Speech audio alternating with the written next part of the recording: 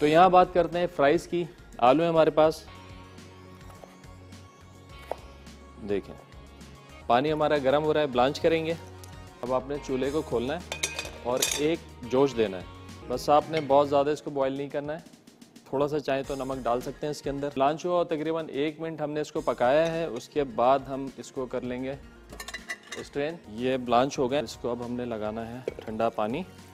अब हम रखेंगे ऑयल बिल्कुल धीमे फ्लेम के ऊपर इसको। ये आपने डाली फ्राइज थोड़ी थोड़ी और ये कॉर्नफ्लावर इस तरीके से डाल के आपने इसको हाथों की मदद से कोट करना है। तो फ्राइज को हम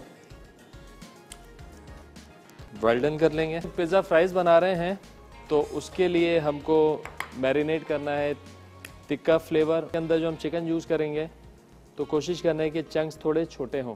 अब हम ज़रा बनाएँगे यहाँ पे टिक्का की चिकन बिस्मिल्लाह करते हैं फ्लेम ऑन करते हैं।